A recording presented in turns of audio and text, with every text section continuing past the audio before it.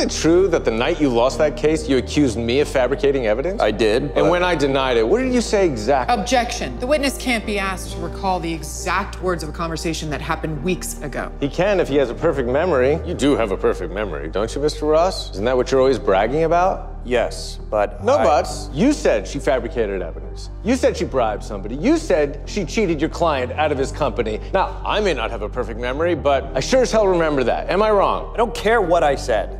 I had no proof that anyone fabricated anything, and neither did your client the night she fired mine. No, she just knew it in her gut. Exactly like you did the night you came screaming at me. No further questions, Your Honor. I said something else that night that clearly you've forgotten. Objection. We didn't I ask. said that you've lost yourself, and as far as I'm concerned, that's still true. And as far as the law is concerned, my opening statement is still true because it doesn't matter if Miss Wheeler crossed a line or not. Faye Richardson had cause.